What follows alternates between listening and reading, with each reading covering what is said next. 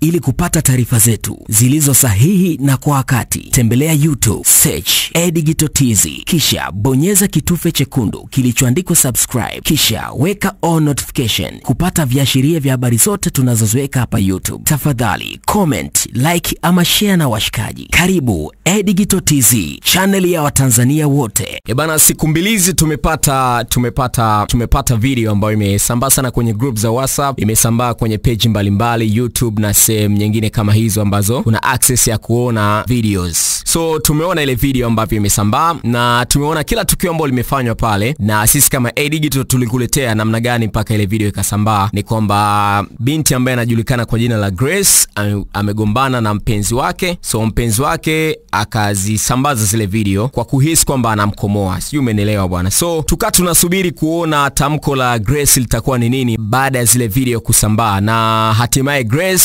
amefunguka kwenye ukurasa wake wa Instagram. I don't know, unajua bongo bwana wabongo likitokea swala la video za utupu wat, wanakuwa macho sana, yani itahakikishwa inafahamika uh, peji husika ya binti ni ipi, itahakikisha jamaa anafahamika. Yani wabongo katika swala la kupeleleza kujua udakuu umetokea wapi, mko vizuri, yani tuko vizuri kusema la ukweli. So nimeona ndio ambavyo Grace amefunguka mara baada ile video kusambaa kwenye mitandao, na mimi namsifu Grace kwamba ni, ni shupavu. Unajua kama ilivyotokea kwa Menina, alikuwa na hali mbaya sana. Uh, kwa Nandi alikuwa na hali mbaya mpaka akaja kusema kwenye vyombo vya habari, lakini kwa Grace anaonekana shupavu na amesimamia haki yake, amesimamia yeye kama mwanamke na kufunguka situation ambavyo ilikuwa. Grace ameandika kwenye ukurasa wake wa Instagram ambao anatumia Grace Kisaka, ameandika sheria itafuata mkondo wake and I will be 100% true stellar and supportive to our police. Nakubali kudhalilika ili huyu mnyama mbwa mchawi muuaji akamatwe just because I said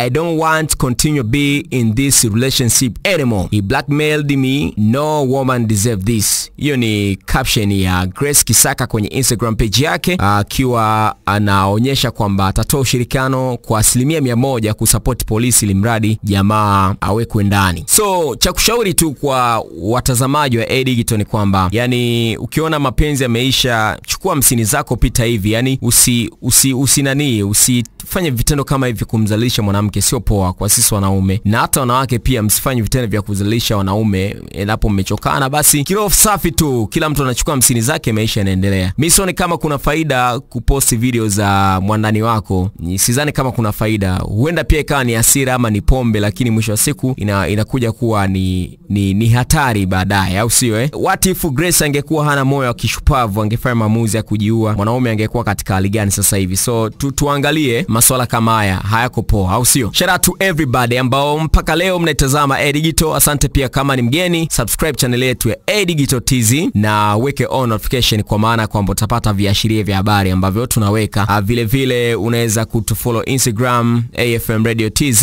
Mimi naitwa Winston Makangale, Instagram natumia makangale moja. Endelea kushare, kulike, kucomment ili tuende sawa.